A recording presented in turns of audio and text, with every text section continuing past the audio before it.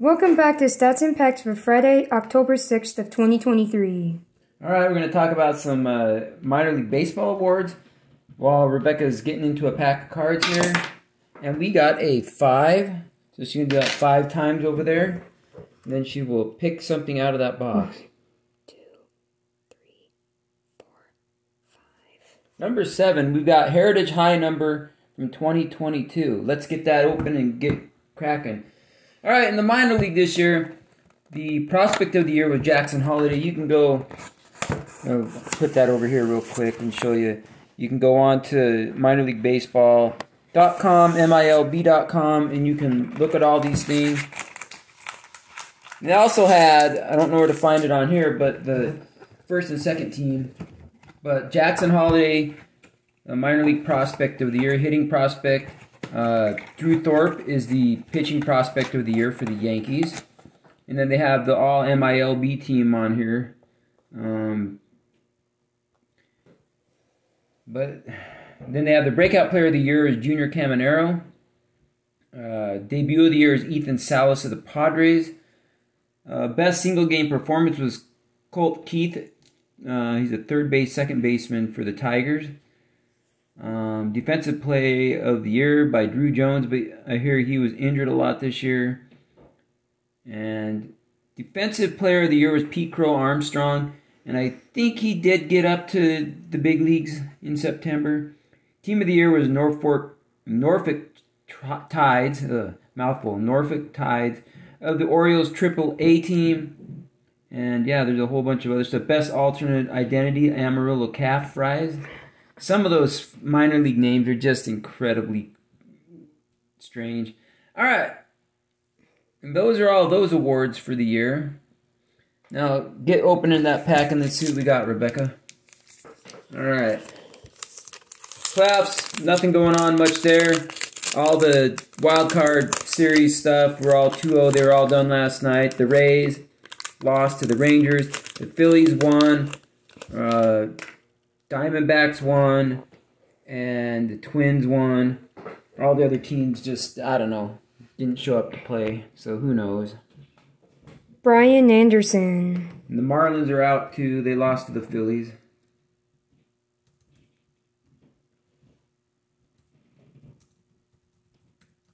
All right. Haven't looked. I don't know when the next series starts. Maybe like tomorrow or something like that. But Brian Anderson looks like he may be. Last thing he was with was with the Brewers, but it doesn't look like all right, yeah, that's where he's at with the Brewers. So 318 at bats, 38 runs, 72 hits, 9 home runs, 40 RBIs, 1 stolen base with a 226 average. Not so good in 2023 season. Let's see what else we got. Marco Gonzalez. Marco Gonzalez. We haven't opened any of this stuff. We kind of like doing it once in a while. He's with Seattle Mariners, like I said there. Four wins, one loss, 5.22 ERA, 10 games, 10 games started, 50 innings pitched with 34 strikeouts. And he ended the year injured. So, see if any of these pan out. Jake Arrieta. All right, Jake Arrieta. He's for some reason said the last time he had stats was in 2021. So when this came out last year, I think he's uh, retired and everything. So let's look at his career stats 115 wins, 93 losses, 3.98 ERA, 285 games, 279 games started, 1,612.1 innings pitched with 1,433 strikeouts. Yeah, he ended his career with the Chicago Cubs. So that's the last team he was noted with on baseball reference. Kevin Plawecki. Kevin Plawecki. Doesn't look like he had any 2023 stats here, so ended with the Pirates. This one shows the Boston Red Sox, the last one was the Pirates. 1,268 at bats, 119 runs, 298 hits, 22 home runs, 137 RBIs, 2 stolen base with a 235 average. Yeah, not very good for his career, so not really getting anything good today. Jhonathan Diaz, rookie. All right, Jhonathan Diaz. Angels there. Yep, still with the Angels. Did not have a very good year. No wins, no losses, 10.29 ERA, 4 games, 1 game started, 7 innings pitched with 4 strikeouts. Yeah, he was probably down with Salt Lake City this summer. Not doing much in the big leagues. Very little stuff. Tommy Romero, rookie. Tampa Bay did not show up to play, and neither did the fans. People are talking about that. They had poor attendance, attendance and stuff. So Tommy Romero, we'll see if he was in the minors this year. Uh, he's with the Washington Nationals. One win, one loss, 10.8 ERA, 4 games, 2 games started, 8.1 innings pitched with 7 strikeouts. Let's see what he did in the minors this year. That's where it said he was.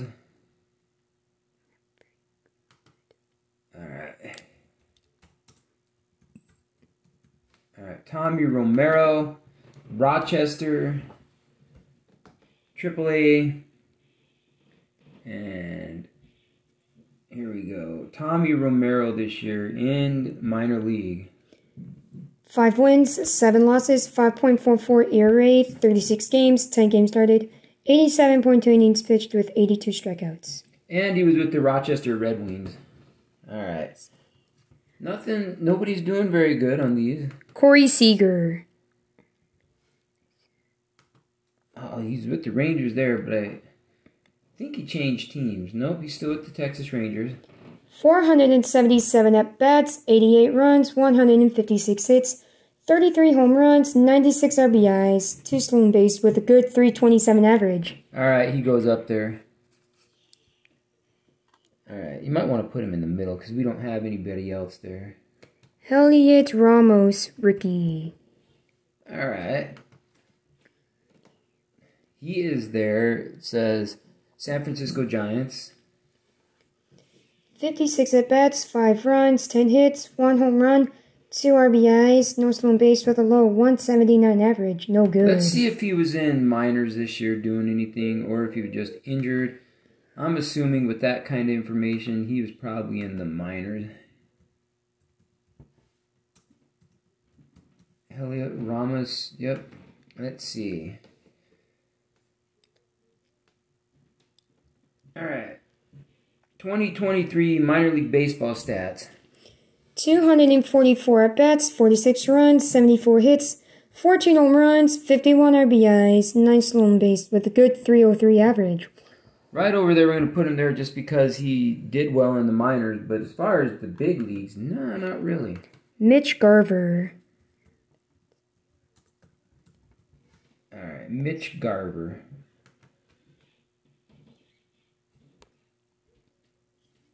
All right, he's with the Texas Rangers.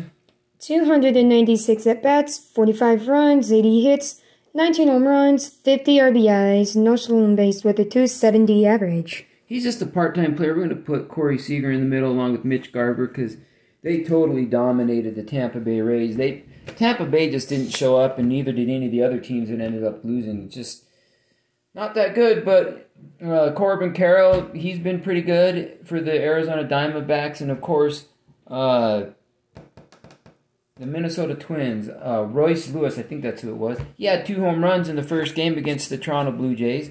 Uh, Rebecca wasn't too happy about that. But let us know what you thought and what you're looking forward to in the playoffs. And Please comment, like, and subscribe. I will be back on Monday with more stats and packs. Thanks for watching and have a great weekend.